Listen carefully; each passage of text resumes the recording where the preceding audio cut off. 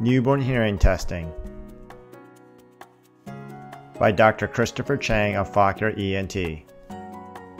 In many hospitals in the United States, a newborn hearing screen is performed 24 to 48 hours after the birth of a child to evaluate for any type of hearing loss.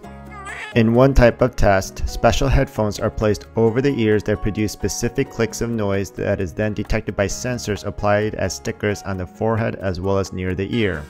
These sensors detect nerve signals transmitted from the ear to the brain. If no signals are detected, the child will fail the hearing test and hearing loss would be strongly suspected. Let's take a closer look at how this test works, known as an auditory brainstem response.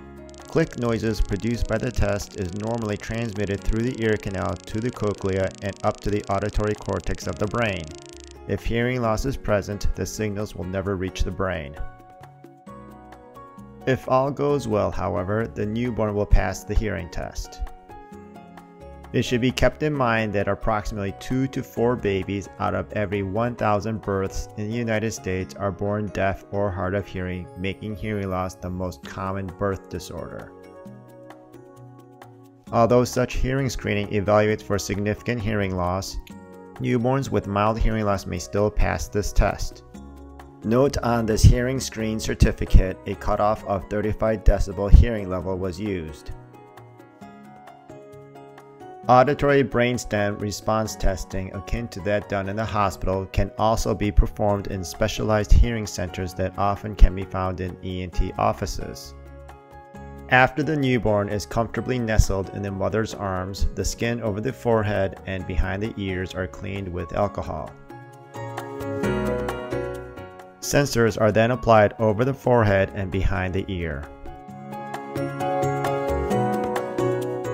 This type of testing done in such outpatient facilities are even more sensitive with sound levels tested down to as low as 20 decibel hearing level rather than the 35 decibel level cutoff performed in the hospital.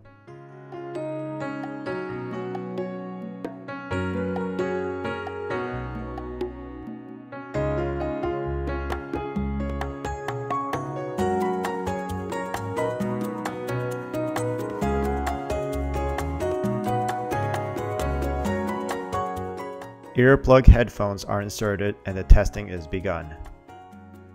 Just as in the hospital newborn hearing screen, clicks produced by the test can be traced from the ear all the way to the auditory cortex of the brain denoted by the squiggles on the screen.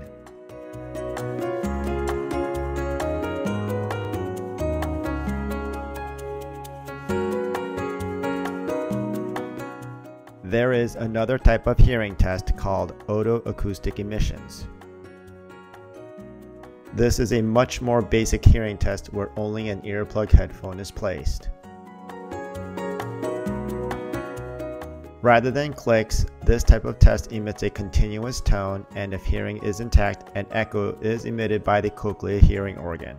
This echo is detected by the machine and displayed indicating the presence of hearing.